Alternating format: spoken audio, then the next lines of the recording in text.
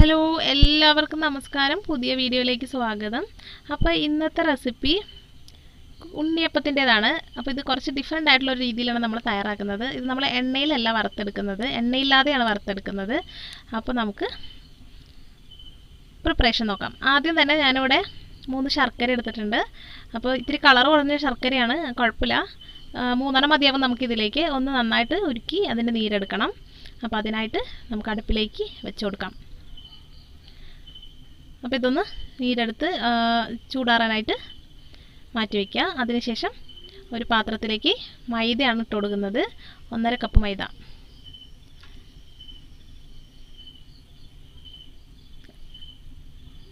അടുത്തതായിട്ട് നമ്മൾ ചിരണ്ടിയ തേങ്ങ ഒരു കപ്പോളം ഏകദേശം ഇതിലേക്ക് ചേർത്ത് കൊടുക്കാം. ഇതിപ്പോൾ നിങ്ങൾക്ക് ഇങ്ങനെ ചേർക്കുന്നതിന് പകരമായിട്ട് നെയ്യിൽ വറുത്ത് കോരിയ തേങ്ങാക്കൊത്ത് ചേർത്താലും കുഴപ്പമില്ല കേട്ടോ. ഇതാണ് എളുപ്പം. എളുപ്പത്തിനാണ് ഇങ്ങനെ ചേർക്കുന്നത്.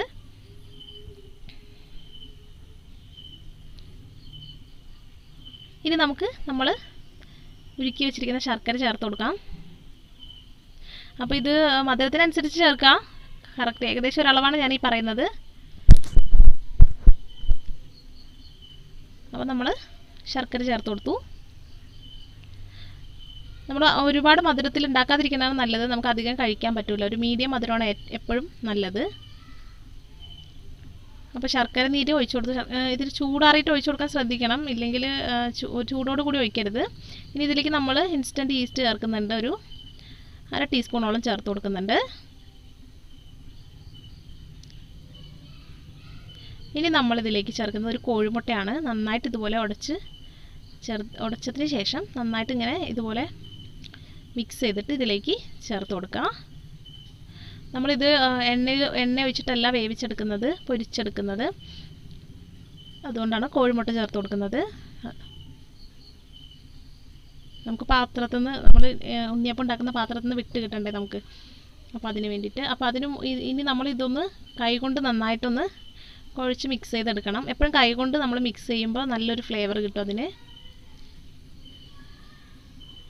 സ്വാദ് കൂടും ശരിക്കും. ഇനി വെള്ളം ഒഴിച്ചിട്ട് പതിയെ ഇതുപോലെ കുഴച്ചെടുക്കുക ഒരുപാട് വെള്ളം ഒഴിക്കരുത്. നല്ല തിക്കായിട്ടുള്ളൊരു കൺസിസ്റ്റൻസി വേണം. അതുകൊണ്ട് വെള്ളം ഒഴിക്കുമ്പോൾ സൂക്ഷിച്ച് കുറച്ച് കുറച്ചായിട്ട് ഒഴിക്കുക കൈകൊണ്ട് നന്നായിട്ട് മിക്സ് ചെയ്തെടുക്കുക ആദ്യം. നമുക്ക് മിക്സിയിലിട്ടൊന്ന് അടിച്ചെടുക്കാനുണ്ട്. അപ്പോൾ അതിന് മുമ്പായിട്ട് തന്നെ കൈകൊണ്ട് നന്നായിട്ട് മിക്സ് ചെയ്തെടുക്കണം.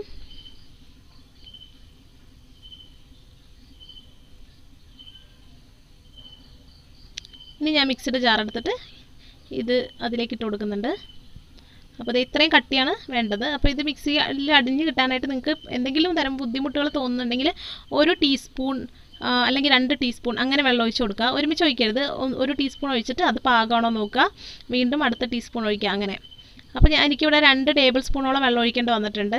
ഒന്ന് നന്നായിട്ട് അടിച്ചെടുത്തിട്ട് ഇതുപോലെ പാത്രത്തിലേക്ക് തന്നെ ഒഴിച്ചു കൊടുക്കുന്നുണ്ട്. ഇനി ഇത് ഞാൻ ഒരു രണ്ട് മണിക്കൂർ നേരത്തേക്കൊന്ന് മാറ്റി വെക്കുകയാണ്. അപ്പോൾ ഇത് എനിക്ക് ഈ പാത്രം മാറ്റേണ്ടതൊന്നു എപ്പോഴും പറ്റാറുള്ള അബദ്ധമാണ്.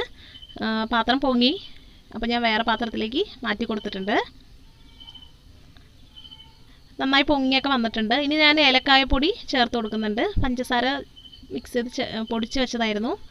അതിനുശേഷം ഒന്ന് നന്നായിട്ട് മിക്സ് ചെയ്യുക നന്നായിട്ടൊന്ന് മിക്സ് ചെയ്യുമ്പോൾ ഒന്ന് സോഫ്റ്റായിട്ട് വരും മാവ്.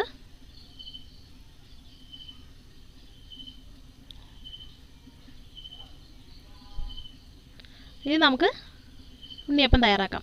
അപ്പോൾ ഉണ്ണിയപ്പത്തിന് ഇതുപോലത്തെ ഇരുമ്പിന്റെ ചട്ടിയാണ്. കാണാൻ ഭംഗിയൊന്നുമില്ല. ഇപ്പോൾ ഇത് ഗ്യാസ് അടുപ്പിൽ വെക്കാനായിട്ട് ഇത് പ്രയാസമായിരുന്നു. ഞാൻ ഒന്ന് അഡ്ജസ്റ്റ് ചെയ്ത് വെച്ചിരിക്കണതാണ് അപ്പോൾ ഇതിൽ നമ്മൾ ഓയിലൊന്ന് സ്പ്രെഡ് ചെയ്ത് കൊടുക്കണം. ഒന്ന് ഗ്രീസ് ചെയ്ത് കൊടുക്കില്ല നമ്മൾ ദോശയൊക്കെ ഉണ്ടാക്കുമ്പോൾ ഒന്ന് ജസ്റ്റ് കൊടുക്കില്ല അതുപോലെ ഒന്ന് ചെറുതായിട്ടൊന്ന് ഓയിൽ സ്പ്രെഡ് ചെയ്ത് കൊടുക്കാം. ഇനി നമുക്ക് മാവ് ഒഴിച്ച് കൊടുക്കാം. അപ്പോൾ ആദ്യത്തെ ഇതാണ്. നന്നായി ചൂടായതിന് ശേഷം ഒഴിച്ചു കൊടുത്താൽ മതി. ഇതുപോലെ കുറച്ച് കുറച്ചായിട്ട് ഒഴിച്ചു കൊടുക്കുക